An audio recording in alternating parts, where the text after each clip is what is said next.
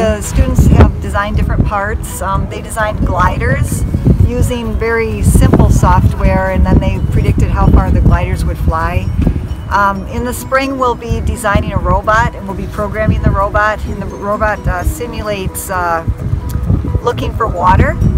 on another planet and we'll also be,